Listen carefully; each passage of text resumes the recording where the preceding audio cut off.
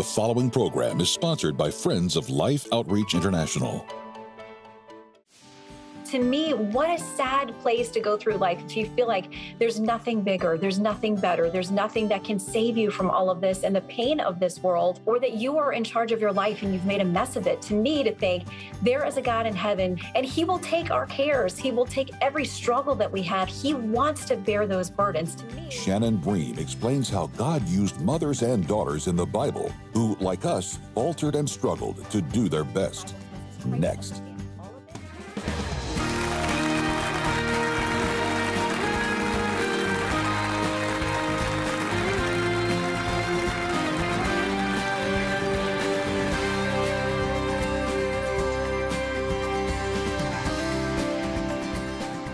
But we welcome you to life today. Betty and I are thrilled to have Shannon Bream with us. She is, as I have actually told her and did just a few minutes ago when we just said hello, uh, because we're doing this on Zoom, but she is a radiant, mm-hmm. in, in, my opinion, manifestation of the glory and the grace and the love of God every time you see her. And she has, uh, you know, the women of the Bible. Mm-hmm. And uh, by the way, Shannon, we, we really welcome you to life today. we're so glad you're with us. Thank you. It's so great to be with you guys and just to see all the things you're doing around the world and just to be a small part of uh, the conversation with you today. Well, you know, this uh, book you wrote about uh, women of the Bible, a lot of people are thinking, well, you know, and I've even heard you say and others say, you know, men need to read this too. Well, let me just go ahead and set the record straight. I didn't need to, to, to, read it. She read it to me because she would just get so excited and she would either be zealous with excitement or she'd be weeping. And so she's reading me your book. and I can't help but think because husbands and wives oftentimes don't have the the interactive relationship communication that they should have and that God wants us to have, it, this could be mm-hmm. a good way for them to go at it. So maybe the same is true here because she's already doing it here. she can't hold it back. Does, does that please you to hear that? Yeah, I love to hear it. You know, my husband and I read together um, before bed every night where we read through on marriage and some verses and um, we read it aloud. And I think that it's a really special thing to share the joys of what you're discovering. Um, sometimes it's convicting and sometimes it's a good uh, reminder about what marriage should be and about how we should care for each other. Um, but we really enjoy that time together. It's pretty sacred to us. Well, I loved your first book, and like James said, I, I couldn't put it down because it, it kind of opened the door, I think, for a lot of women, especially, to hear about women in the Bible because in, the, in their journeys that God took them on, because they were difficult journeys, especially for women mm-hmm. back through the Bible days. Um, they depended so much on, on their spouse or the, the community to really hold them up and help them, and they worked very, very hard. But this book, it, it really touched my heart in that it, it ministered to me personally in my relationships, my relationship with God, and I just thought it brought us into a time like, well, I can do that. I can do that. I can be like that if I have God first in my life. Things, goals that are obtainable. And I just, it blessed me so much. I love the story of, about uh, Naomi and Ruth mm-hmm. and the relationship that they had there, the, the love that Naomi showed Ruth as her daughter in law. She was her daughter in law. But as they traveled and they got to know each other, and even Ruth went out of her own country, away from mm-hmm. her, her family, to be with Naomi and the love that she saw in Naomi's heart. And I thought that's the way we could be as Christians. Mm-hmm. We don't have to have a platform, as you, you talked about. Evangelism isn't necessarily a platform, it's our life, it's where we live right now. So it really bless me. Mm-hmm. Could you talk a little bit about that relationship? Yeah, exactly. These two women were bonded together in tragedy because Naomi was her mother in law and her, her husband died, and then both of her sons died, leaving these two women who were her daughters in law. Now, all three of them widowed. And in those days, that was a very precarious position for a woman without a financial provider and without a physical protector. And now here there were the three of them. So Naomi tries again and again to get her daughters in law to go back, start a fresh family, go to their families. They can still have children, have a life together and um, they're just weeping. And and finally, her one Orpah the one daughter in law goes home, mm-hmm. but Ruth says, Entreat me not to leave you. Wherever you go, I will go. Your God will be my God. Your people will be my people. And we often hear that in the context of a wedding ceremony, but it's such a beautiful commitment saying, We're going to stick together in this. And it wasn't just that, as you point out, that Ruth chose to go with Naomi into her land and to her family, but Ruth said, Your God will be my God. And that was a huge decision to leave behind the gods, small g gods of, of what she had grown up with and what would have been popular or familiar for her nation or her family. But they really bonded together in their relationship, but also in their faith. And that was the great denominator that took them through, you know, living on the edges of poverty and just really difficult times. But I do think that Naomi must have been, in some ways, a kind of evangelist. I mean, the fact that her religion, her God, what she believed was so enticing and attractive to Ruth that she made that pledge to her um, is a very powerful thing. And I think it reminds us that just as you said, that we can live through our life, through our relationships with people, the way that they see we treat them and treat others can be a real, uh, just practical witness for Christ every day. You know, it's uh, amazing to see what God's done with the book. Were you, when you wrote Women of the Bible, you had hopes for it. Let me ask you, what was your initial hope for the book? Because you hope people buy the book, read the book. But what was your hope for the book to accomplish? Did you have kind of a, a set focus on what you hoped the book would accomplish? You know, I'd never written a book like that before, and I just prayed over it. Lord, just I, I pray that people, whoever gets this book or shares it, or um, however it gets into their hands, that you would draw them to you, whether it's in the first time and trusting Christ as their Savior and understanding more of God's love and compassion through these stories, or if they're already a believer, to go deeper into these relationships and to see how God cares for us, how He's aware of every bit of our circumstances, and you're not alone if you're walking through suffering or a deep valley. So I was really hopeful. And, it, you know, the book was written and came about in the first wave of really terrifying COVID, where there was just so much we didn't know. And a lot of people were suffering in so many different ways. Um, I had no idea that people would connect with it so well. And I'm glad they did. I get messages from all over the world that people have shared it with friends or done a group Bible study because there are study questions in there uh, with their church or just a book group in the neighborhood. And I've had men say to me that they've read it too and, and or read through it with their daughters and wanted to share it. So I think the reach was far beyond what any of us truthfully had expected, but was just really grateful. Um, and I pray over this book and every word of it the same way. Well, did it surprise you how well it went? Did you find yourself a little bit overwhelmed that it took off like it did and the mm-hmm. feedback was so uh, profoundly positive? Mm-hmm. Yeah. And I, you know, we always lecture ourselves. I say, Lord, help me not to worry about the earthly success of this book or what man, um, how they rate it or what they do with it or how they rank it. Um, but there's a part of me um, as a human being that was startled when it ended up number one on the New York Times bestseller list. I was like, praise the Lord. Um, and it really, to me, it's just a God thing. There's no other way to explain it. That people, um, that it would stay there for weeks and weeks. Uh, that people, it, it, resonated with them, and hopefully met a need that they really had. When I think, as you guys know, when there's tragedy, hearts are more open a lot of times. That um, people are searching, and I think last year was one of those times.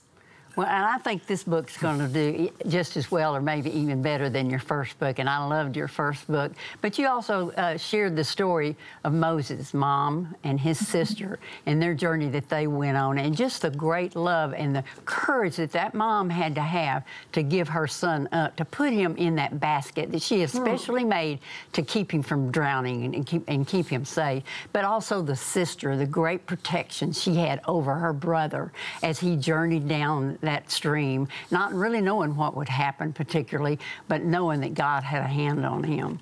I know when you told me this story, it really touched your heart in a way that you said, I don't know if I'm going to be able to share that. What was it that moved you so deeply that you had a hard time even talking to me well, about it? Well, yesterday when we were talking, it, it was back on the, the other story of Naomi and Ruth and just the great love that, that Naomi showed her. And she didn't preach to her, she just lived mm-hmm. her life as an example. And I think sometimes so many people think, well, I have to have a pulpit to do it, I have to have an audience to do it. No, God says, let me do it through you. And you mm-hmm. just walk the life and the journey and the purpose that I have in your life. And no, it's not always going to be fun, it's not going to always be smooth.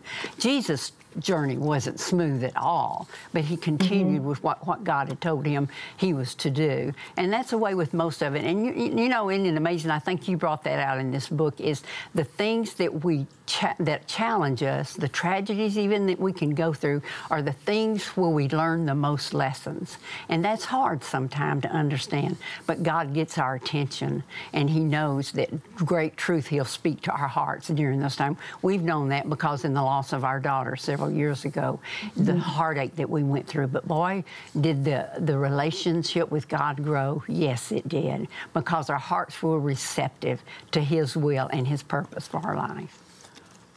You know, Jesus said when he made his announcement of why he was here, and he talked a lot about freedom, which I've preached, and about how we all seek that and know he's the only source of it, and we all have battles and defeat. Uh, let every mouth be stopped, all the world become guilty before God. There's none perfect. He uses the imperfect to accomplish his perfect will. And we so need that love and that forgiveness. And that is what was being seen in the commitment and the love for one another that was unshakable. And I think what God is using people to do, like you, because I think, like I said when we began the show, you are a radiant display of the Father's life and the Father's love.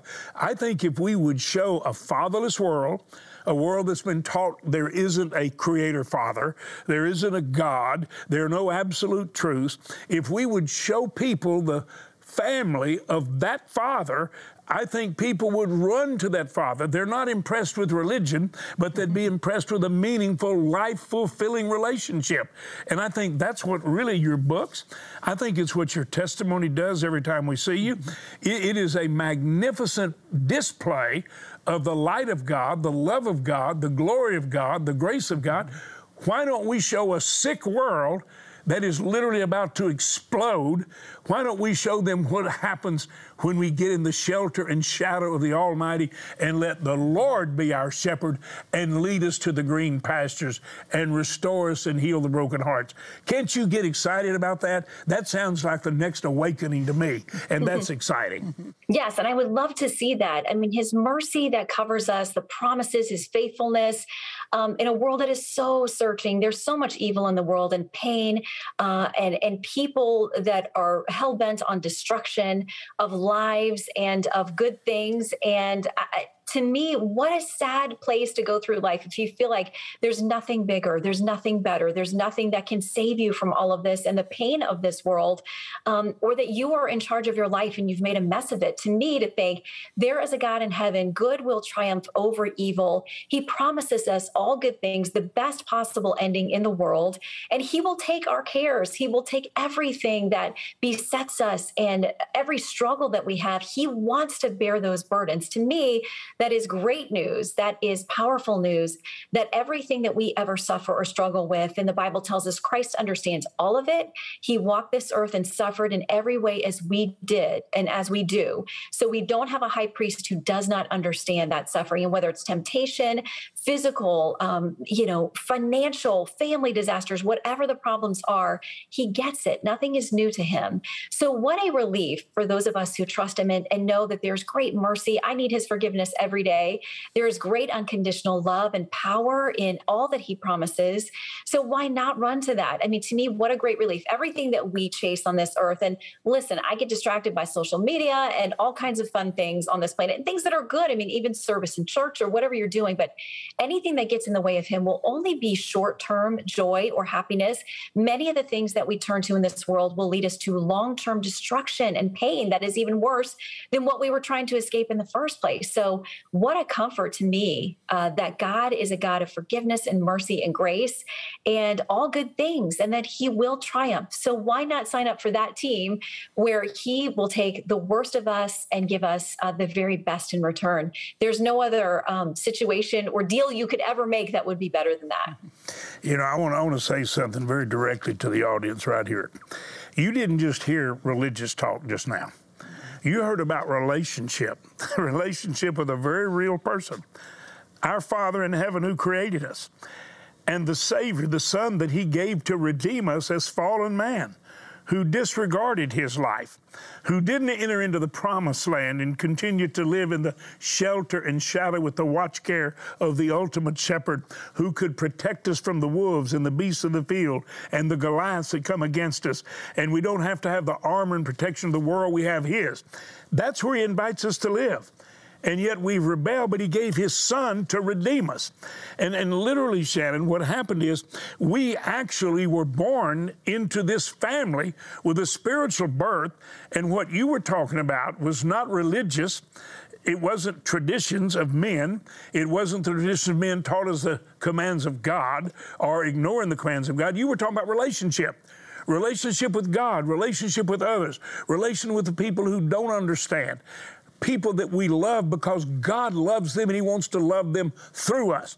We don't need to be angry at defeated people. We're all defeated people. And He wants to lead us into a freedom that is so far beyond religion. People are not running to religion because it too often divides us as seriously as political uh, boundaries divide us and, and the partisanship divides us. You were talking about relationship. Your books talk about relationship. This is what the Father is inviting us into a relationship with the living God, with the King of Kings, and to be the family in the shelter and shadow of that Father with the perfect shepherd protecting us and guiding us and blessing us and restoring our soul and being with us in every dark valley and moving the mountains and anointing our head with the oil of His presence, His love, and His power. That's what I see coming out of you. That's what you write about. And from the bottom of our heart, we thank God and we thank you for being a source of inspiration to everyone in some of the most challenging places on this planet, in the news world. And we love you and we thank God for you. I pray everybody gets the book. I pray the women will read it to their husbands. They'll go back and forth and grow because it teaches men too. And you make that very clear in this particular book. Thank you so much for being a blessing. Thank you both. God bless you, all the work that you're doing and the truth that you're sharing too. Great to see you. Well, we're going to talk to our viewers about something they love. One thing they know if they watch James and Betty on Life Today, they're going to be challenged to share Life Today every day. And we share with the least of these, the most overlooked, forgotten people. And our viewers love it they have become an answer to people's prayer and the miracle that people long for. And our viewers love that. So we're going to talk to them about feeding hundreds of thousands of children in desperate need. And we're going to also add to the other gifts that we're your book today. If they will give a child something to eat, and put God's hands of love on people, we're going to be blessing them with your book too. And you are a blessing to us. And we're going to be praying for you all the time. And I know you're going to be praying for us. I will. And thank you. It's it's a wonderful honor to be any small part of what you guys are doing and changing lives is um, we were talking about but for eternity, some of these folks you'll meet in heaven and they'll be able to trace back to the people that were kind enough to join you in this and to support um, really changing lives in practical ways, us being the hands and feet of Christ, um, not just with great platitudes and, and encouraging words, but really showing up where people have enormous daily needs to sustain their lives. Well, we're going to look in on some of that right now, and you'll see it. And everybody's going to watch, but we're going to be the miracle they need. And your prayers and your support mean so much to us. I want you to watch right now. All of you, just please, right now. I want you to look into a setting that's very real right now. And I want you to know you are, listen to me, God's love through you're the solution. You're the miracle they long for. You're the answer to their hopes and prayers. Watch closely. James and Betty, last time we were in Mozambique together, we were walking through schools where mission feeding was happening. There were children dancing and singing, and just life. Life because of mission feeding in those villages, because of the friends of life, because of each and every one of them opening their hearts, partnering with you, partnering with us to make that joy and that life possible for each and every one of those children. I, I remember it like it was just yesterday. And I remember how filled with joy your heart was in seeing those children thriving, full of joy and full of energy. And all of that starting with just a bowl of food a day in the mission feeding program in their schools, changing their lives, providing them with opportunity. But James, as you know all too well, life is hard here in Africa for many of these families, you know, with the drought that we've experienced. We've seen areas where they're just they're unable to produce food, and what it's resulted in is a severe critical need, a need that is putting children in malnutrition clinics. I've seen some of the fullest malnutrition clinics I think I've ever seen in this area. We've seen children, many of them, who I don't think will make it. A name on a little wooden cross, another life stolen by malnutrition, stolen by the simple lack of food. James, we have to do something about this. We've got to reach these children now. It's urgent, it's critical. We have to get to them now because if we don't get to them now, they're going to continue to dig more and more of these graves and bury more and more of these children. Please, James, ask the friends of life, ask them to help you and to help us so that we can save these lives.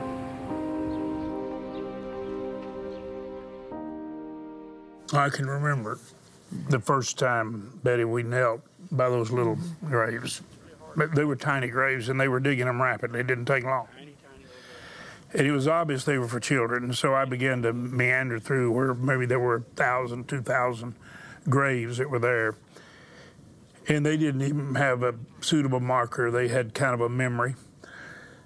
And, and Betty, it was so horrific that we talked to our viewers and to be honest with you, let me just say this straight. We didn't know that people would help. We knew we would.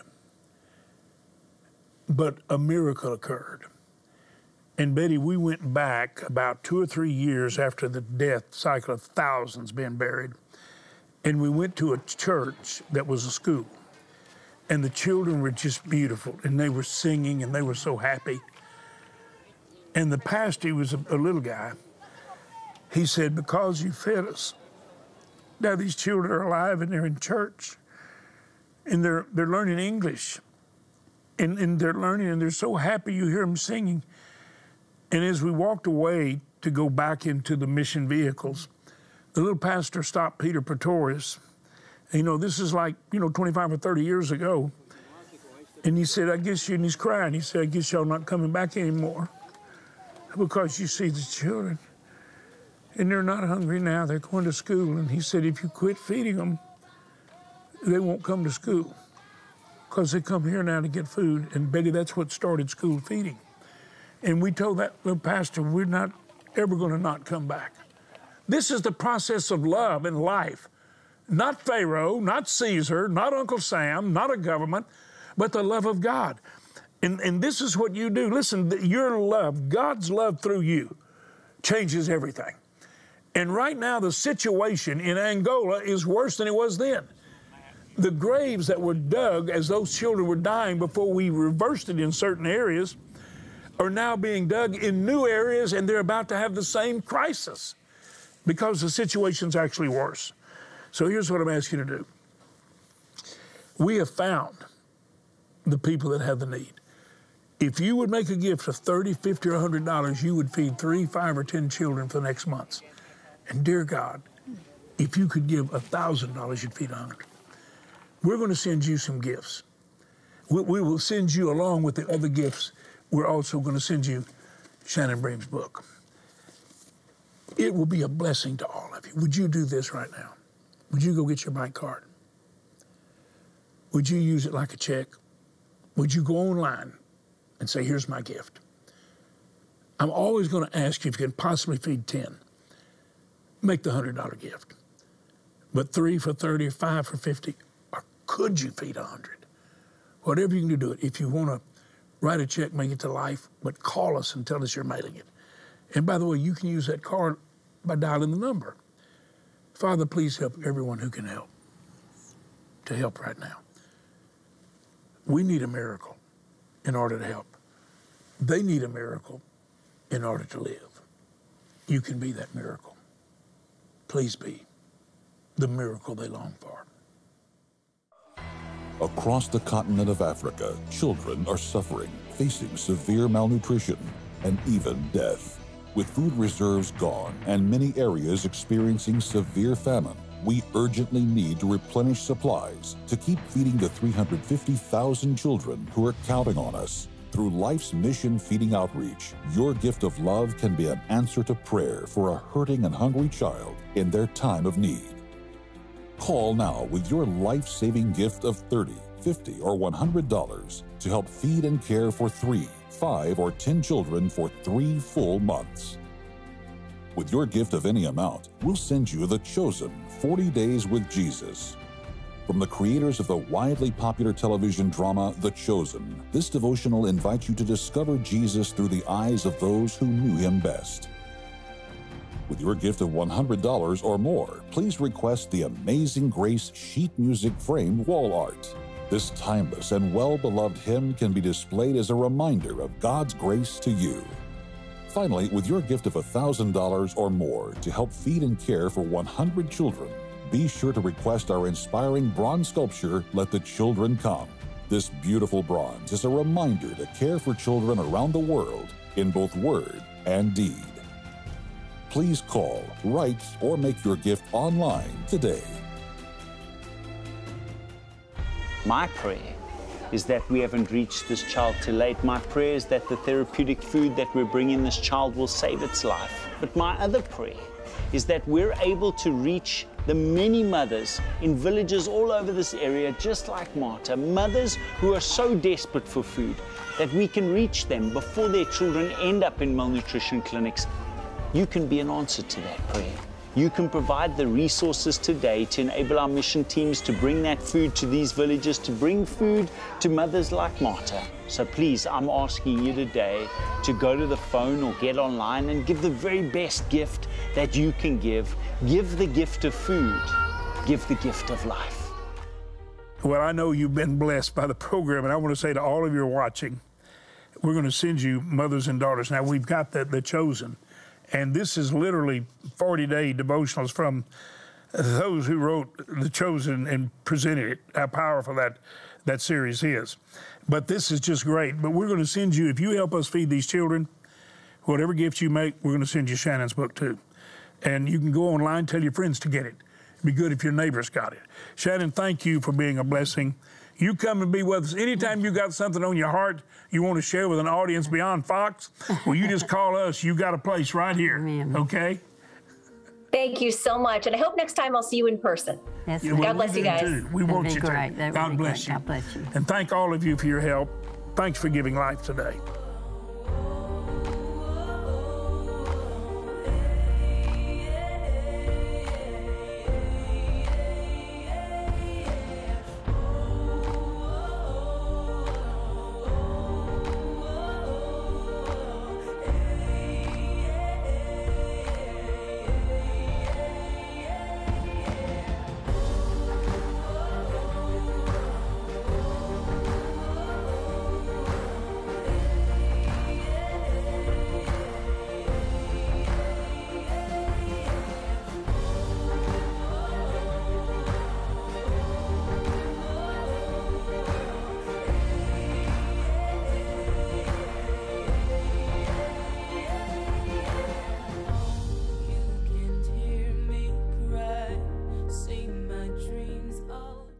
We do all have an assignment, we all have a role to play, but we were made for communion with God. We were made to walk with God.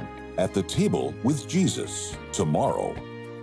Life Today is made possible by the supporters of Life Outreach International. Your gift will be used exclusively for the exempt purposes of life. The ministry features specific outreaches as examples of the programs it supports and conducts. Gifts are considered to be without restriction as to use unless explicitly stipulated by the donor. The ministry is a member of the ECFA.